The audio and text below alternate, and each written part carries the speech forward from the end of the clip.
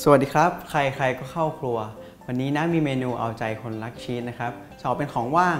ออกแนวของหวานนิดหน่อย จะทำกล้วยหอมชีสทอดนะครับผมอยากรู้ว่าเป็นไงเดี๋ยวตามไปดูส่วนผสมกันเลยดีกว่าครับ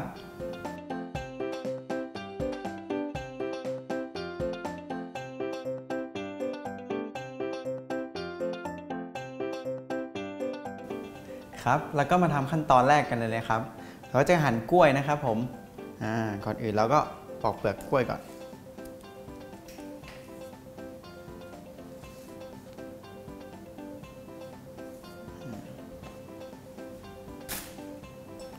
ก็หั่นประมาณไม่ต้องยาวนะครับ ประมาณนี้ประมาณนิ้วนิดๆ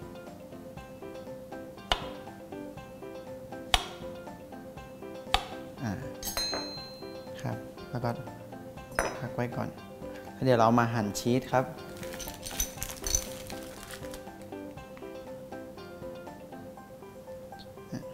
ก็หั่นเป็นเส้นๆนะครับ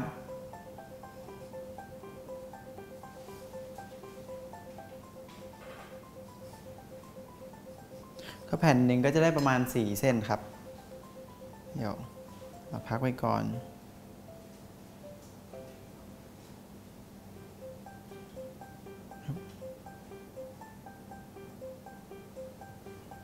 แล้วเดี๋ยวเรามาเริ่มใส่กล้วยกันเลยดีกว่าครับ กับชีส อ่าแล้วก็เอากล้วยมาอันหนึงก่อน แล้วก็พับชีสเอาไว้ตรงกลาง แล้วกล้วยอีกอันหนึงมา วางไว้แล้วก็เอาไม้ไม้เสียบนะครับ เสียบลงไปโอ้โหเดินอะก็จะหน้าตาประมาณนี้ครับ เดี๋ยวน้าทำให้ดูอีกอันหนึงนะครับผม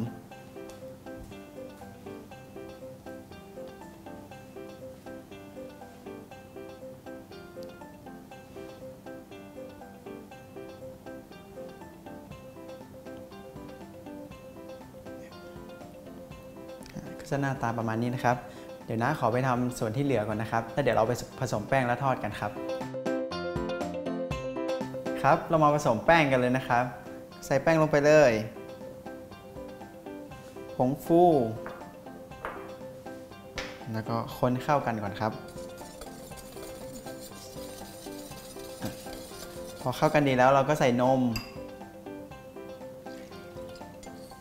ใส่ไข่ไก่ด้วยครับ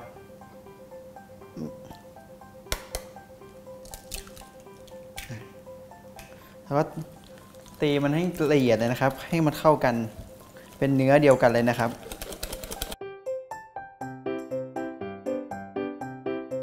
ครับแป้งเราก็เนียนดีนะครับ เดี๋ยวเราไปทอดกันครับครับแล้วก็มาถึงขั้นตอนการทอดแล้วนะครับน้าก็เปลี่ยนจากถ้วยใหญ่มาเป็นถ้วยเล็กแล้วนะครับ แป้งเดี๋ยวเรามาชุบทอดกันเลยดีกว่าครับนี่ก็จุ่มจุ่มจุ่มแป้งให้ทั่วนะครับ แล้วก็ไฟต้องใช้ไฟกลางๆนะครับ เดี๋ยวมันไหม้นะครับ เราก็เอาทอดเลย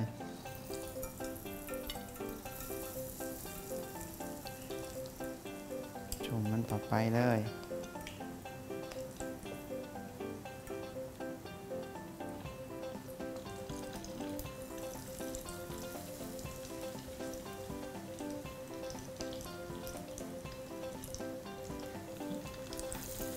เดี๋ยวนะขอตัวไปทอดก่อนนะครับแล้วเดี๋ยวเรามาดูกันว่าหน้าตาที่กล้วยทอดของเราจะเป็นยังไงครับ